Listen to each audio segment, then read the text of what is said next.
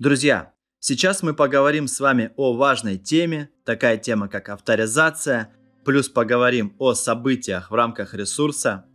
Начнем с авторизации. В особенности для админ-панели авторизация крайне важна, так как может быть множество пользователей админ-панели и нужно разделять их права доступа. Кто-то видит определенные разделы, кто-то нет, кто-то имеет право удалять, редактировать, кто-то нет. Все в таком духе. Moonshine, еще раз, это обвертка над Laravel, над моделями в Laravel. В рамках Laravel есть крутой механизм политик, и эти же политики мы можем использовать и в рамках Moonshine. И сейчас мы посмотрим, как это работает. Забегая вперед, работает это крайне просто. Но прежде чем мы взглянем на эту тему, я хочу обратить ваше внимание на еще одну особенность Moonshine. Я думаю, вы уже заметили, что у нас есть пользователь, администратор, их может быть несколько, вот они у нас здесь, и это отдельная таблица Moonshine Users. И у кого-то из вас, я думаю, возник вопрос, а я не хочу использовать эту таблицу. Я хочу использовать дефолтную Users, либо какую-то свою, и сделать собственные реализации. Можно ли это сделать в Moonshine? Ответ – да, конечно, можно. И давайте посмотрим, как просто это делается. Для этого, друзья, нам необходимо с вами открыть конфиг Moonshine, Далее перейти в раздел Off. И в целом мы можем просто с вами переключить здесь Guard на Web, и у нас уже будет работать. То есть мы с вами возьмем из Off дефолтный Guard Web, который у нас провайдер Users на сессиях и модель по умолчанию User. Простой вариант, это будет работать точно так же, как и в целом, если мы оставим Guard Moonshine, но при этом просто возьмем с вами и изменим модель с Moonshine User на User. Окей? Давайте попробуем. Обновимся и увидим, что нас уже выкинуло, так как сессия не соответствует. Давайте для начала создадим пользователя в user, так как у нас таблица users скорее всего пустая. Перейдем сюда, давайте откроем Tinker и сделаем user, create, давайте через фабрику, factory, create и укажем, что у нас email будет admin user.com, пусть будет так, а пароль, чтобы точно не забыть, он у нас будет 1, 2, 3, 4, 5. Отлично, точка запятой.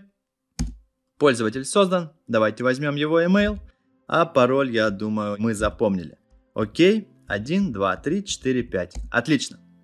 И мы заходим с вами уже через модельку юзера, все еще в нашу админ-панель, нам доступен пользователь, профиль. И все, что нам с вами останется сделать, это взять и в целом, если нам не нужна эта моделька дефолтная и все эти Moonshine Users, Moonshine User Role, просто выпилить, дописать свой ресурс на юзера и взаимодействовать с ним. Вот так, друзья, крайне просто. Поигрались, поговорились и достаточно. Давайте вернемся к Moonshine User. Я обычно использую именно эту модельку и таблицу, мне ее достаточно, и давайте возвращаться к теме авторизации. Снова нас выбросило, так как мы сменили с вами модельку, сессия уже не актуальна. И, друзья, скажем, давайте в рамках статей немножко поиграемся и права доступа изменим. Что для этого требуется? Мы уже говорили, что работает через политики, но чтобы эти политики были доступны, нам необходимо переключить ресурс в режим взаимодействия с этими политиками. Для этого нам необходимо воспользоваться свойством WithPolicy, которое по умолчанию false, мы его переключаем в true. Окей. После этого наш ресурс будет работать с политикой Article Policy. Политики у нас это тема Laravel, мы ее рассматривать в рамках гайда по Moonshine не будем. Есть на канале гайд об этом, можете посмотреть, если эта тема вам не знакома. В итоге вот она политика у нас под Article, уже создана, и сейчас мы ее с вами разберем. В целом она дефолтная. Если вы сгенерируете через Artisan политику, она будет выглядеть точно так же, только в данном случае будет простой юзер, а не Moonshine юзер. Я в рамках админки просто взял и поменял здесь на Moonshine юзер, так как он у нас авторизованный. Если вы используете провайдер с простым юзером, то вам вообще ничего не придется делать. И методы ViewAny для просмотра всех статей, View для просмотра какой-то определенной одной статьи, create для создания, update для редактирования, delete для удаления, restore, если у нас soft delete и мы восстанавливаем запись, force delete, если мы все-таки хотим от нее избавиться. И новый метод это mass delete. Это у нас массовое удаление, которым мы пользуемся, когда с вами выбираем несколько записей вот здесь и нажимаем на удаление. Этого метода по умолчанию в политиках нет, но вы его можете добавить и он также будет работать. Окей, друзья, мы с вами переключили. Давайте обновимся. И у нас пока что все с вами работает. Почему работает? Потому что у нас view any для всех true. Давайте поставим false. Окей, вернемся, обновимся. 403 ошибка. Можем сделать, скажем, условия отсюда. Если у нас роль ID1. Давайте вернемся. И статьи у нас работают. Так как наш пользователь действительно администратор и его роль ID1. Давайте немножко изменим условия. Пусть здесь будет true но при этом create сделаем false. Окей?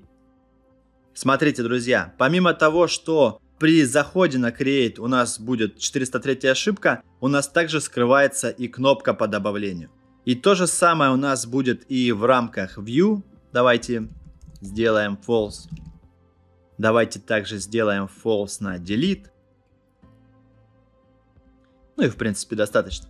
Вернемся, обновимся и видим, что у нас нет View, нет кнопки удаления, есть только редактирование. Редактирование мы с вами апдейт не трогали.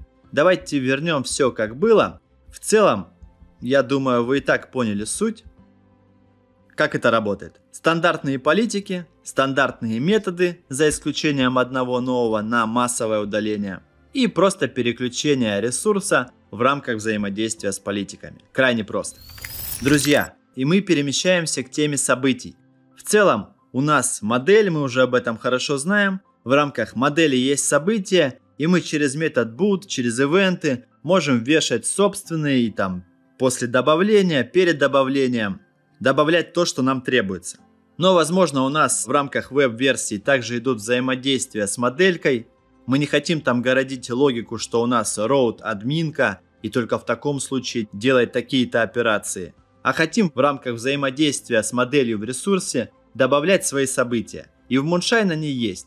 Для этого необходимо перейти в документацию, в раздел «События» и здесь посмотреть на все возможные варианты. Как видите, их немало, и они хорошо расписаны.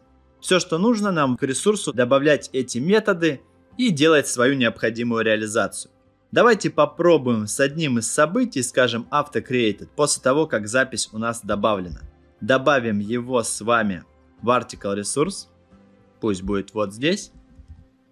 Мы видим, что у нас есть на входе item, можем с ним повзаимодействовать. И давайте придумаем следующее.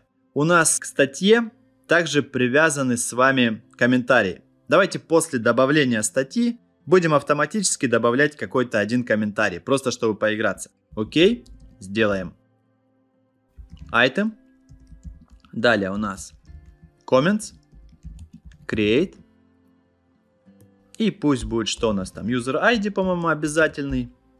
Возьмем текущего пользователя. Moonshine. ID. И добавим текст. Пусть будет что-нибудь рандомное, по-моему, здесь был такой метод. Видимо, через класс str. Рандом на 10 символов. Отлично. Давайте попробуем так. Окей, вернемся, вернемся в статьи, откроем определенную. У нас здесь как раз никаких комментариев нет. И это у нас ID 99. Окей, давайте ее сохраним. Во-первых, получим 403, так как у нас есть с вами политика, которая, видимо, блокирует нам апдейт. Да, мы можем обновлять только там, где мы с вами авторы. Давайте пока что отключим политики чтобы не заморачиваться с авторством. И еще раз обновимся. Вернемся в нашу статью. Сохраним. И при этом никакого комментария у нас с вами не добавится. Почему так? Потому что мы пользуемся с вами методом AutoCreated после добавления, но при этом мы обновляем. У нас запись не добавляется, она уже есть, поэтому это событие не срабатывает. Нам нужно auto-updated. Мы с вами обновляем запись, редактируем. Давайте поменяем. Вернемся. Еще раз нажмем сохранить. И получим с вами ошибку, что у нас комментарии ссылаются на модельку user, а не на Moonshine Users. А мы с вами передавали как раз текущего юзера. Давайте посмотрим, что у нас там есть по пользователям, что за юзеры. 1, 2, 3. Окей, давайте возьмем и проставим здесь не текущего, а первого. Отлично, вернемся, обновимся, отправим запрос. Вроде как что-то сохранилось, но нам нужно еще проверить. Заходим, смотрим и видим, что наша статья также имеет комментарий с каким-то рандомным текстом. Все то, что мы с вами заполнили и добавили в рамках ивента. И в таком ключе, друзья, вы можете взаимодействовать. Если у вас что-то сложное, скажем, после добавить, до добавить. Также есть интересный момент уже для разработчиков. Если вы будете писать кастомные поля, то в рамках полей вам также доступны методы до сохранения и после сохранения. Давайте провалимся в поле и увидим их здесь. Они у нас будут вызываться точно так же в рамках ресурса, но в рамках каждого поля. Каждый раз, когда поле будет сохраняться, оно будет также вызывать before save и after save. Вы можете писать кастомные поля и изменять эти моменты под себя. Как есть, скажем, официальный пакет для Moonshine по взаимодействию со Spati пакетом Media Library, и он как раз работает через эти события ничего не добавляет в основную модель, но при этом после сохранения сохраняет в таблице от Spati, где хранятся изображения. То есть здесь уже все зависит от вашей фантазии. Чего нет, вы можете писать кастомные поля, взаимодействовать с событиями ресурсов, писать собственные тюнинги под каждое поле, метрики, фильтры, декорации, все что угодно, друзья. Moonshine крайне гибкий, и это мы с вами еще не дошли до кастомных страниц.